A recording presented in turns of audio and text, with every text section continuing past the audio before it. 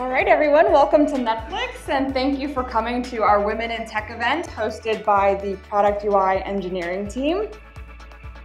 We want to begin fostering a community and creating a place for networking where we can talk about all of the engineering problems that we're working on in the industry and at our various companies. We want to hear from you about the problems that you're solving at your companies.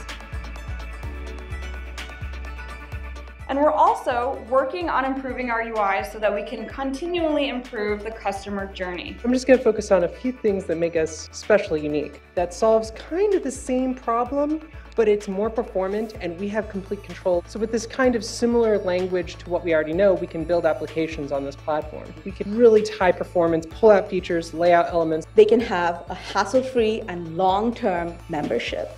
We A-B test a lot here at Netflix. This adds complexity and scale for development, which is essential for a quality mobile experience. Look at these tall panels. They are so beautiful and they give you so much information. Check out all of us. Thank you very much for coming to our talk.